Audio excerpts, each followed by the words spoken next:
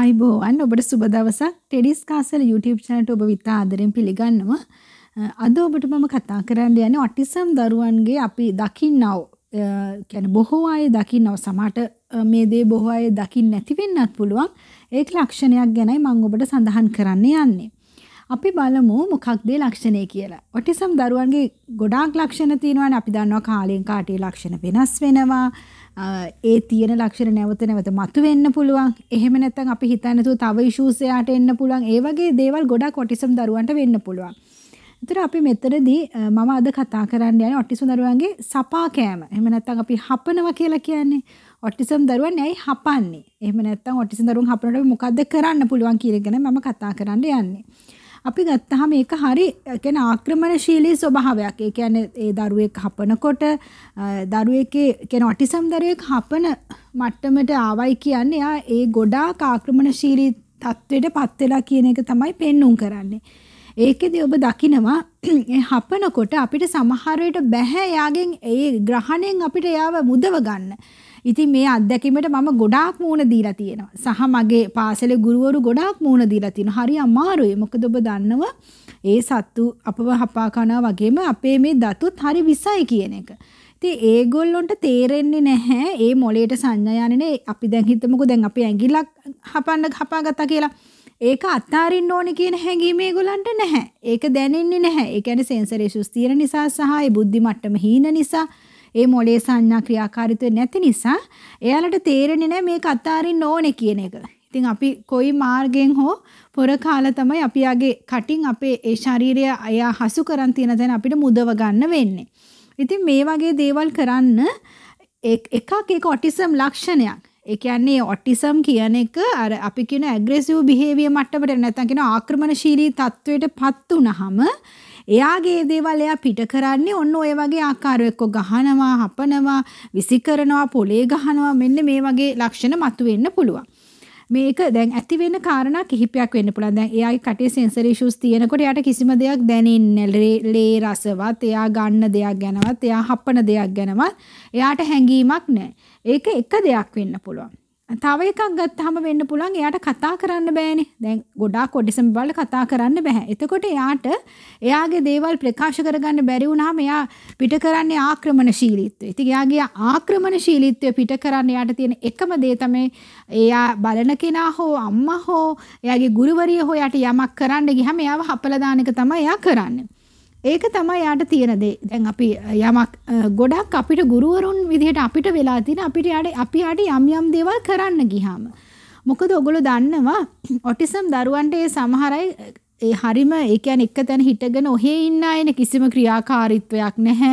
එතකොට අපි කරන්නේ බලහත්කාරයෙන් හරි යාගේ සෙන්ස් හදන්න. අපි උත්සාහ කරන්නේ මොලේ සංඥා ක්‍රියා කරවන්න අපි උත්සාහ කරන්නේ. ඉතින් අපි බොහොම අමාරුවෙන් අනවනවා එක එක දේවල් කරනවා. එතකොට එයාට ඒක යම් යම් තේරෙනකොට එහෙම නැත්තම් එයාට ඒක ඕනේ නැහැ කියලා. එතකොට එයා බලන්නේ අපේ ශාරීරික කොටසක් හපලා දාන්න තමයි උත්සාහ කරන්නේ. ඉතින් එවැනි අවස්ථාවලදී දරුවෝ හපන්න පුළුවන්. කියන්නේ ඔටිසම් දරුවෝ හපන්න පුළුවන්. ඒ කියන්නේ යාට කැමති නැත්තම් එහෙම නැත්තම් එයා ගොඩාක් ආක්‍රමණශීලී මට්ටමේ හිටියොත් ඒ කියන්නේ ගොඩක් තරහ ගිහිලා යාට කිසිම දෙයක් කරන්න බැරි මට්ටමේ හිටියොත් ඒ වගේම යාට ඒ එයාගේ දේවල් ප්‍රකාශ කරගන්න බැරි වෙනකොට එයා මේ විදියට හපලා දාන්න පුළුවන්.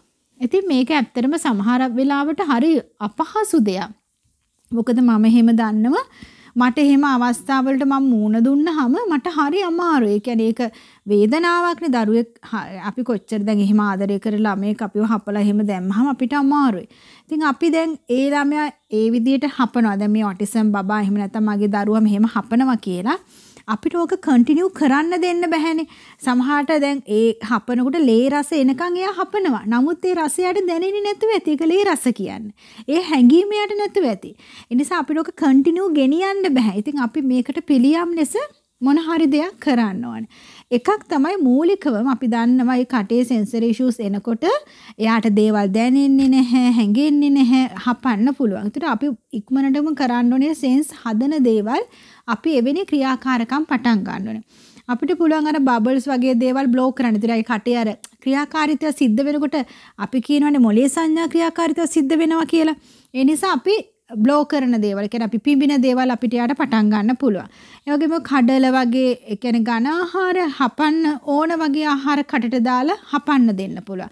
අර ඔයගොල්ලෝ දන්නවා පුංචි දවස්වල අපි බබාලගේ දත් වෙනන දෙන අපි රබර් එකක් වගේ එකක්. අන්න ඒ වගේ දේවල් එයා එහෙම එහෙම කරන වෙලාවට එයාට එහෙම දෙයක් හපන්න දෙන්න පුළුවන්. ඒ වගේම පුලන් චුයින්ගම් මෙන්තෝස් ඒ වගේ දේවල් යට හපන්න දෙන්න පුළුවන්. සහ දෙහි දෙහි ඕගලන්ට යූස් කරන්න පුළුවන් ඒ දත්වලට උඩ තල්ලේ වගේ තැන්වලට යට පාවිච්චි කරන්න පුළුවන්. ඒ වගේම අර ভাইබ්‍රේෂන් වෙන මැෂ් මේ ටූත් බ්‍රෂ් එකක් තියෙනවා කියන්නේ බුරුසුවක්. ඒකෙන් ওই උඩ තල්ල අර දත් ඒ මැෂින් එකෙන් ක්‍රියාකාරීත්වයෙන් කරොත් එහෙම අර සෙන්ස් හැදෙන්න එයාලගේ පටන් ගන්නවා. ඉතින් මේ වගේ ක්‍රියාකාරකම් කිහිපයක් අපිට මේ වගේ දරුවන්ට කරන්න පුළුවන්. හරිම සරලයි. ඉතින් කියන්නේ මේ ඒවා එච්චර මහන්සියෙන් කරන්න දැන් අපි හිතමු කඩල ටිකක් තම්බලා පීරිස් එක දාලා තිබ්බොත් එයා අහුලගෙන අහුලගෙන හරි කයිතුරගේ ඇඟිලි වල ක්‍රියාකාරීත්වයක් වෙනවා මොළයේ ක්‍රියාකාරීත්වය සිද්ධ වෙනවා සෙන්සර් ඉෂුස් හදන ටිකක් වෙනවා. ඒතර දැන් චුයින්ගම් වගේ නම් ඔබට ගිලිනවා නම් ඔබ දෙන්න කැමති නේකට මෙන්තෝස් වගේ දෙයක් පාවිච්චි කරන්න පුළුවන්. අනේ වගේ එක එක රස තියෙන දේවල් පාවිච්චි කරන්න පුළුවන්. ඉතින් මේ වගේ දෙයක් ඔටිසම් දරුවෙක් කරනකොට අපි ඒකට පිළියමකුත් හොයා ගන්න ඕනේ. එහෙම නැත්නම් අපිට ඒ දරුවා සමග ඉදිරියට යන්න බෑනේ. යා හපනවා හපනවා කියලා අපිට බලාගෙන ඉන්න බෑනේ. අපි ඒකට පුළුවන් හැම පිළියමක්ම හැම ක්‍රියාකාරකමක්ම අපි කරන්න ඕනේ. ඉතින් ඔබ බොහෝ දරුවන්ගේ මේ හපන එක දකින්න නැති වෙන්න පුළුවන්. නමුත් සමස්තයක් ලෙස ගත්තොත් සමහර අය හපනවා. ඒක අපි අපේ පාසලේ නම් අපි ගොඩාක් දරුවෝ තුල ඒක දකිනවා. අපි හිතමු සමහර අය එයාවම හපා ගන්නවා. දැන් සමහර අයගේ මම දැකලා තියෙනවා මේ අත් එහෙම කළු වෙලා. ඒ කියන්නේ එයාගේ තැනම එයා හපා ගන්නවා. එයාවම හපා ගන්නවා. එයාම එයාට රිදෙනවා එක දැනෙන්නේ නැහැ. ඉතින් ඒ නමුත් ඒක වෙලා වෙනා ලේ ඇවිල්ලා එක්ක කළු වෙලා ඒ වගේ දේවල් වෙනවා. ඒතර ඒ වගේ වෙලාවට පුළුවන් අත් දෙකට ඔයගලන්ට සොක්ස් දෙකක් පරණ මේ ඉස්සරහ කෑල්ල කපලා සොක්ස් දෙකක් එහෙම නැත්නම් බෙඩ් ෂීට් පරණ බෙඩ් ෂීට් ඔතම පටි හරි ඔතලා තියන්න ඒ ක්‍රමේ කියන්නේ ඒකෙන් එයා මිදෙනකයි. ඒතර යාට හපන්න බෑනේ. තමන්ගේ ශරීරේ හපන්න බෑ. ඉතින් මේ වගේ එක් එක් පිළියම් ඔබ හොයා ගන්න වෙනවා. ඉතින් මේක හරි භයානක දෙයක්. අපි හිතුවොත් මේක ඔටිසම් එක එච්චර මහා ලොකු දෙයක් නෙවෙයි කිව්වත් මේක හරි භයානක දෙයක්. මොකද එක එයාලා හැප්පුවාම හරි අමාරු ඒක වේදනයි. අපි කාට වුණත් ඒක ඉවසන්න බෑ. ඉතින් අපි තුම තව තව දරුවෙකුට තව ගුරුවරියෙකුට කරත් ඒක අපහසුතාවයක්. ඉතින් ඔබේ දරුවා මෙවැනි මට්ටමක ඉන්නොනම් ඒ ඒ දේ මුදව ගන්න ඔබට හැකි හැම පිළියමක්ම ඔබ ගත යුතුයි. ඉතින් මෙවැනි ක්‍රියාමාර්ග ඒ වෙනුවෙන් අනුගමනය කළ බලන්න බොහෝ දුරට ඒවා අපිට හදා ගන්න පුළුවන් වෙයි. ස්තුතියි.